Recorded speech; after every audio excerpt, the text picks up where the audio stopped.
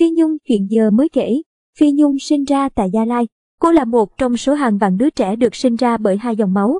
Trong một cuộc trả lời phỏng vấn trên truyền hình, Phi Nhung nói rằng cô là con lai nên người mẹ sợ dị nghị đã gửi cô vào chùa.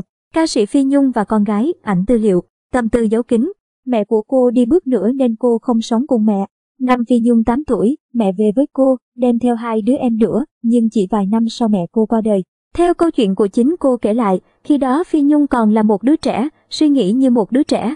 Cô bé muốn gọi mẹ là má nhưng vẫn chưa gọi được, thậm chí không dám nhìn thẳng vào mặt mẹ, chỉ dám nhìn trộm. Đến khi mẹ đột ngột qua đời, cô mới vỡ òa cảm xúc của đứa con, ôm chân mẹ khóc. Ngày 21 tháng 6 năm 2000, lần đầu tiên Phi Nhung chia sẻ về người cha bí ẩn của mình. Cô viết, ngày hôm nay, mùng một đầu tháng, tôi đến quán chay của mình như thường lệ. Bất chợt có một cô lớn tuổi nói với Nhung, hôm nay là ngày lễ của cha, em có biết không? Phi Nhung sững người lại, đột nhiên hai hàng nước mắt cứ chảy không ngừng. Bao nhiêu tuổi thân, uất nghẹn hơn 40 năm, một nửa đời người như tuôn ra thành những dòng lệ mồ côi. Nhung chưa bao giờ dám nghĩ mình có cha và cha đang ở đâu, chỉ sợ mình cứ tuổi thân khóc hoài. Cảm xúc của cô vẫn mãi mãi như là một đứa trẻ thèm bờ vai của người cha. Những giọt nước mắt ngày hôm nay buồn lắm nhưng cũng thanh thản lắm. Nhung nhẹ lòng và hiểu mình đã tha thứ cho cha, tha thứ cho số phận một cô cha mà mình nhận lấy từ lâu.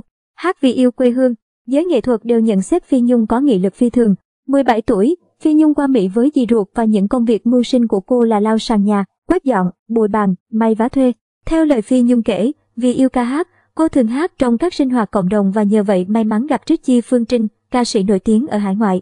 Chính Trích Chi Phương Trinh đã khuyên cô nên theo nghiệp ca hát. Khởi đầu sự nghiệp, cô xin tuyển giọng vào trung tâm Thúy Nga nhưng bị từ chối. Phi Nhung không nản, đã thu ông CD đầu tiên vào năm 1995 cùng Hương Lan, Thanh Tuyền. Đến năm 1998 cô ra hàng chục CD và có doanh số kỷ lục, được gọi là nữ hoàng băng đĩa. Đến năm 1999 cô mới lần đầu tiên tham gia một chương trình của Trung tâm Thúy Nga. Ca khúc đầu tiên của Phi Nhung với Trung tâm Thúy Nga là bài Lý Con Sáu Bạc Liêu. Bài hát này cũng có nội dung về thân phận mồ côi. Ca sĩ Thanh Lan kể rằng có lần tôi đi hát chung với Phi Nhung ở New Jersey, Phi Nhung hát bài Anh cho em mùa xuân. Phi Nhung lúc đó tươi tắn, trẻ trung lắm. Sau này, Phi Nhung chuyển hướng sang hát hẳn nhạc quê hương trữ tình. Đó là quyết định khá đúng đắn vì tôi biết Phi Nhung yêu quê hương mãnh liệt lắm. Tôi đã xem Phi Nhung biểu diễn tại sân khấu trống đồng lần đầu tiên vào những năm 2000, khi cô vừa chân ướt chân ráo từ Mỹ về Việt Nam. Người bạn đi xem cùng tôi là thầy sư lượng nhận xét, tuyệt vời Phi Nhung. Theo thầy sư lượng, một người đam mê ca nhạc, ca sĩ hải ngoại về Việt Nam biểu diễn không ít, nhưng tuyệt đại đa số, đó là các ca sĩ hát dòng nhạc xưa, nhạc bolero, một số ít ca sĩ hát nhạc hiện đại Pháp, Mỹ một người trở về từ nước ngoài lại hầu như chỉ hát dòng nhạc quê hương như Phi Nhung là cực kỳ hiếm. Giọng của Phi Nhung thanh và cao, hơi mỏng, cũng khác biệt với nhiều giọng ca trầm khàn của giới ca sĩ thành phố Hồ Chí Minh vốn thiên về nhạc phòng trà, rock, song chất giọng của cô quả hợp với các bài mang âm hưởng dân gian. Trên trang cá nhân của Phi Nhung, dòng trạng thái cuối cùng được viết vào ngày 20 tháng 8 năm 2021. Đó chính là lời chúc mừng sinh nhật con gái Wendy Phạm hiện đang ở Mỹ với dòng chữ, bài hát con gái thích nhất. Chúc con sinh nhật vui vẻ, mình làm sinh nhật sau nhé. Lời bài hát Phi Nhung gửi tặng con Wendy Phạm có những câu, không ai thương con bằng mẹ, mẹ là quê hương của con. Từ năm 2005, Phi Nhung đã về nước và biểu diễn, tham gia mọi sinh hoạt văn nghệ trong nước. Sự nghiệp của cô rất đa dạng tới mức người ta thấy cô ở trên mọi sân khấu. Nhiều người hỏi vì sao Phi Nhung lại làm việc như thiêu thân, động lực nào như thế. Một lần, cô trả lời phỏng vấn, tôi có lối sống khá bình dân. Làm bao nhiêu tôi xài bấy nhiêu, vậy nên cũng không có nhu cầu kiếm tiền nhiều.